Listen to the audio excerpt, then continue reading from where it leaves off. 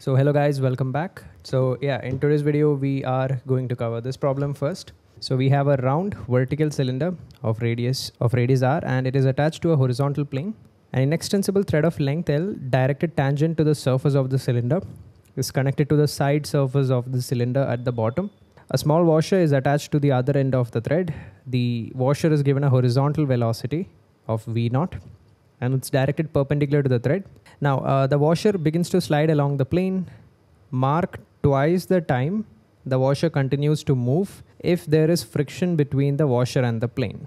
Okay, and the mu value is given to be 0.2. Okay, so um, directly we can write down the tangential acceleration. This is just going to be negative mu g, right? Because uh, because kinetic friction would be directed opposite to the velocity vector at all times and its magnitude will be mu mg. So the tangential acceleration would just be negative mu g. Okay, and this is like minus 2 meters per second squared.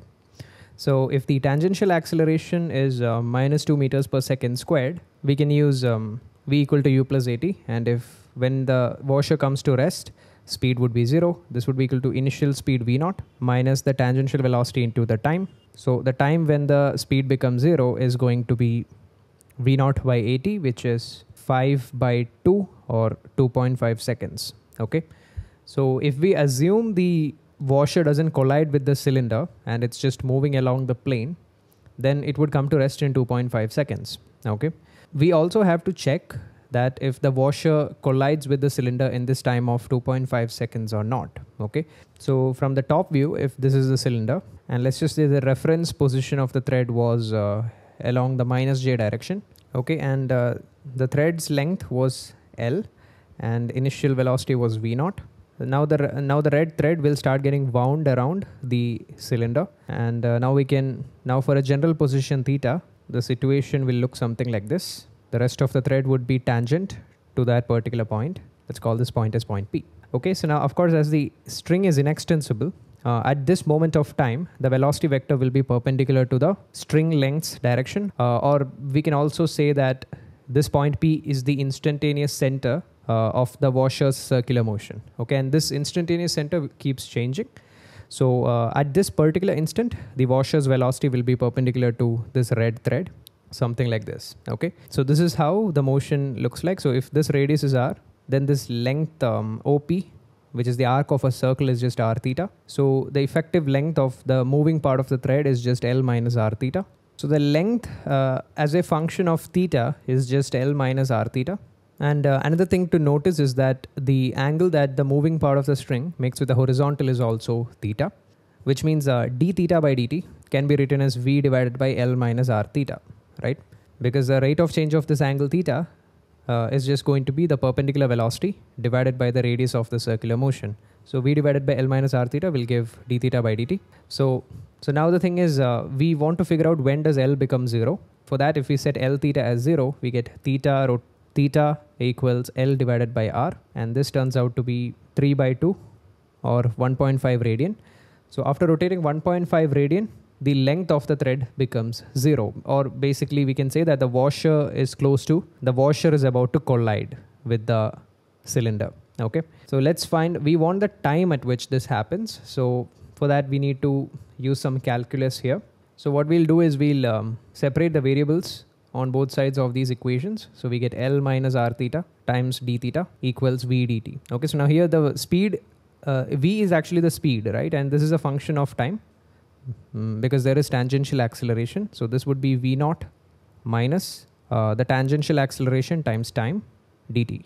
Okay, so yeah, now it's a simple integral. So at time t equal to 0, the angle rotated is 0 because that's when we took our reference, right?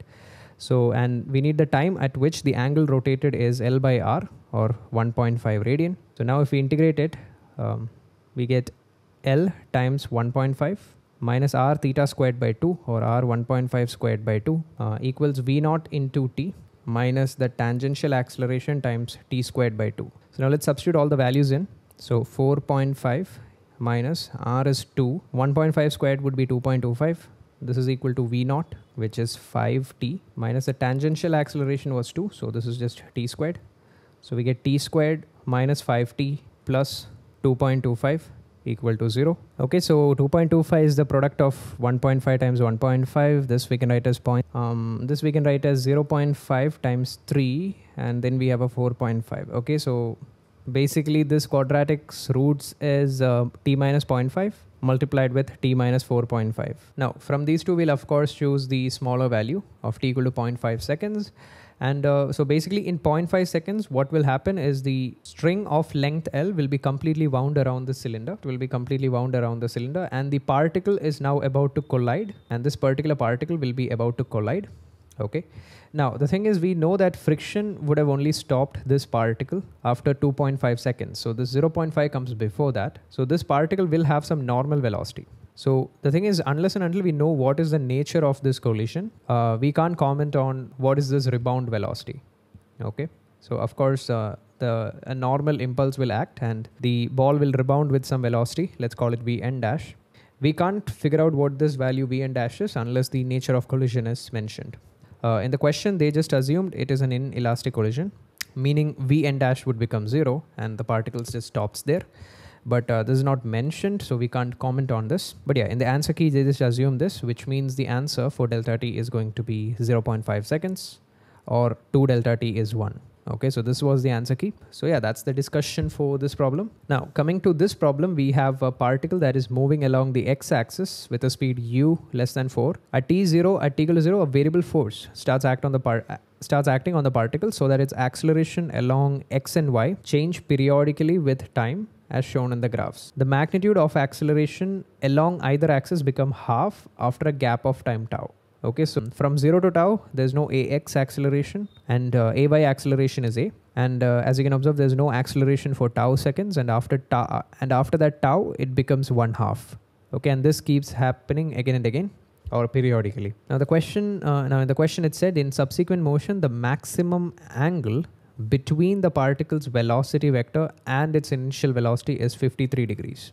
Um, so initial velocity is along the x direction. So with the x so with the x-axis, the velocity vector's angle theta achieves a maximum value of 53 degrees in the subsequent motion. Now this information is given a subscript tau is 2.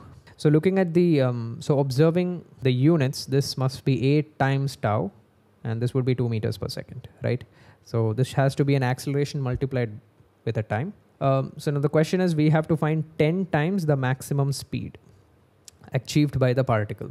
Okay, so basically we have to find max speed that the particle achieves. So yeah, first let's try to use this particular fact, um, which is like the max angle being 53 degrees. So let's, okay, so in this particular question, we, uh, we will use vectors. So the initial vector as it's given, it's going to be u along the i cap direction and u is given to be smaller than 4 in magnitude okay? So in the first tau seconds as you can see uh, ax has no change and ay after tau seconds it's the change in velocity is a into tau which is 2 meter per second okay? So after the first tau seconds the velocity vector will be u i cap plus 2 j cap right and in the next tau seconds, uh, the y doesn't change, but the x changes by a tau, uh, which means the new, which means we'll just add a 2 in the x direction. So the new velocity vector will be u plus 2 i cap and uh, plus 2 j cap. So, and uh, now the thing is in the next tau, once again, um, the acceleration halves and the pattern continues. Okay. So in the first tau, after tau seconds, we'll add a 2 meter per second like this. So just to get a rough idea of um, this particular angle, let's call this as theta 1. Tan theta 1 is 2 divided by u. And u is smaller than 4. So in the so let's just say if it was equal to 4, um, thing is this would be tan inverse of half, okay? So which means the angle theta 1 is greater than tan inverse of half, whatever that is, okay? That is something to keep in mind so that we get an idea of the angles. Now the next velocity vector addition is 2 along the x direction. Now it's very intuitive and we can easily comment that it doesn't matter what time you choose after tau seconds, the angle just keeps reducing. So if you choose this particular time, uh, which is the time between tau and 2 tau seconds, this is going to be your final velocity vector. Okay, but it's very obvious that the angle has reduced. So okay so as long as you move towards the horizontal the angle reduces. And once you start moving along the vertical the angle starts increasing. So that's the intuitive understanding. Now um, so basically from 0 to tau theta increases. And from tau to 2 tau theta decreases. And from 2 tau to 3 tau it increases once again. So the maximum angle will be at one of these steps right? So in the next tau it will be one vector vertically. So this is going to be another point of consideration. Now the question is in which of these vertical tips arrow tips is the angle maximum? So that's the final question. So let's just consider uh, the vertical vector of magnitude 1 so if um, this is the case now the thing is what is this particular angle? So if this is let's say a delta v vector what is this what is this exact angle? So this theta is actually tan inverse of half if you observe but here we initially commented that theta 1 is greater than tan inverse half. So the situation is actually something like this. This is the initial vector where this is u and this is going to be, so this is going to be that 2 vector and this is going to be the u vector and this is theta 1. So this uh, vector is actually steeper than the delta v vector. So the delta v vector will look something like this. Okay, so this is going to be the next 2 and this is going to be the 1. Okay, now from this diagram, it's very obvious that theta 1, okay.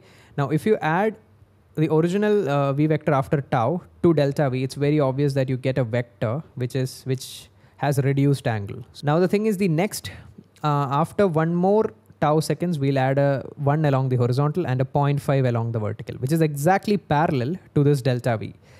Okay, so, okay which means once again we'll get an ang- uh, once again we'll get a vector which has smaller angle. So the thing is with vectors we can very easily see that theta 1 is the maximum angle okay? Because uh, now because whatever vector we add to to this velocity vector the resultant velocity vector will have a smaller angle okay? And uh, we get the idea using this uh, this particular relation theta 1 greater than tan inverse of half. So we figured out this angle is bigger than this angle so this vector will be something like this and this vector will be making a smaller angle or smaller slope. So if you add these two vectors, you get a vector which has effectively a smaller angle than theta 1. Okay, and uh, you can keep continuing this argument. So in the next 0.1 change and 0.5 change, also you get a delta v, which is parallel to this delta v. So once again, you get a you get a function with an even smaller angle.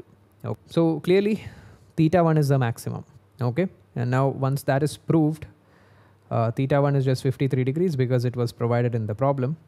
So which means tan theta 1 which is 2 divided by u is uh, tan 53 which is 4 by 3 or we can say u is 6 by 4 or 1.5 meters per second. Now the maximum speed is very obvious. Of course speed is nothing but under root of vx squared plus vy squared right now as so the bigger the Vx and the bigger the Vy, of course, the bigger the speed. So basically that will be an infinite sum, right? Uh, I mean an infinite GP sum. So basically Vx would be uh, 1.5 plus 2 plus 1 plus and so on and the infinite GP uh, of this series. So this is going to be the Vx when uh, after a very very long time so this is going to be 1.5 plus uh, the sum of this infinite GP is A divided by 1 minus common ratio. So this is just 4. So this is going to be 5.5 uh, and Vy is just going to be, well, that is exactly this GP itself. So Vy is 4. So the maximum speed is under root of 5.5 squared plus 4 squared under root. Okay, so this turns out to be approximately 6.8 uh, meters per second. And I guess they wanted uh, 10 times the maximum speed 10 times this value is going to be 68 okay so okay yeah so that was a solution to this problem. So we'll see the other problems soon as well. So i'll bring the other problems soon as well. So yeah that's it for this video guys. Take care. Goodbye